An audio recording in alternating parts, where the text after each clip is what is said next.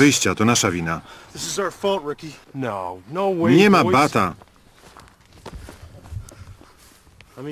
Szkoda mi ich trochę, ale byli za głupi, żeby przeżyć. Takie rzeczy to normalka w królestwie zwierząt. Głupie szczury, ptaszki przygłupy, opóźnione w rozwoju jeże lądują pod kołami. Selekcja naturalna. Ricky! Kolesie sami zjebali sprawę, nie nasza wina. Tylko najlepsi mogą przetrwać.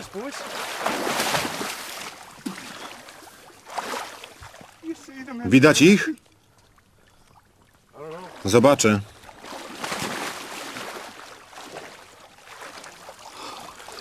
Zajebiście ślisko, uważajcie.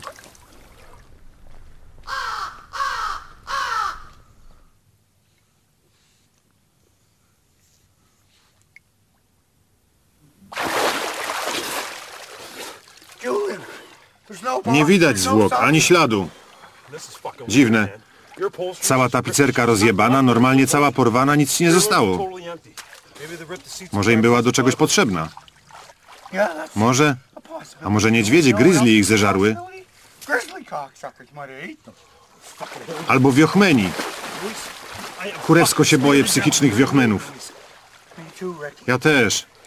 Wiochmenów i niedźwiedzi. Jeśli w wozie nie ma torów, znaczy, że goście żyją i je układają.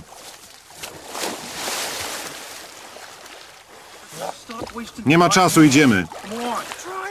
Chwila, łatwo ci mówić. Kurde faja, moje dresy.